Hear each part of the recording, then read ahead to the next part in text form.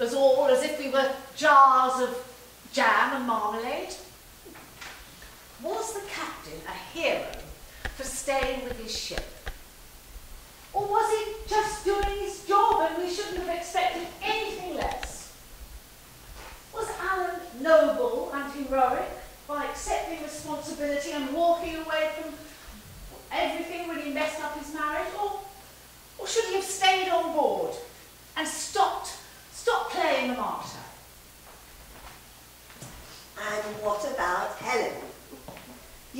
one tiny episode. So many big questions. So many possible ladies. But whatever your opinion, I'm hoping that you will agree that there can be no doubting the heroics of Ben Jacobs and his lifeboat crew, who saved so many lives as a souvenir was dashed onto the rocks in that terrible, terrible storm. The Isle of Wight is proud of them, the crews who preceded them, and those who serve in the lifeboats to this day. This play is dedicated to them and all those who risk their lives to save others, on land and sea. They are the true heroes.